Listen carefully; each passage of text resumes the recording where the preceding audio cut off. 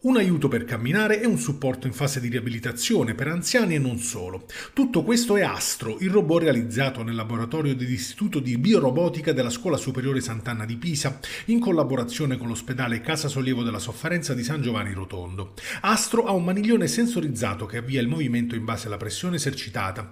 In questi giorni il robot viene sperimentato dai pazienti di geriatria e della medicina fisica e riabilitativa dell'ospedale di San Pio, che hanno suggerito ai tecnici miglioramenti da apportare. Gli utenti di Astro sono le persone anziane con un certo tipo di fragilità o comunque con un minimo di riduzione di capacità motorie e anche i caregiver che sostanzialmente utilizzeranno Astro come uno strumento in più per migliorare la loro capacità di assistere e di servire le persone anziane. Il robot è intelligente perché sfrutta algoritmi di intelligenza artificiali che consentono adesso di adattarsi al cammino della persona e di navigare con sicurezza all'interno degli ambienti anche evitando ostacoli. Casa Sollievo della Sofferenza sta fornendo all'Istituto Sant'Anna il substrato per la creazione di uno strumento che sia realmente utile al fine del, di un utilizzo degli anziani e che possa rispondere realmente alle loro esigenze. Questo strumento permetterà da una parte di aiutare le persone a deambulare e non solo, anche di monitorare dei parametri per valutare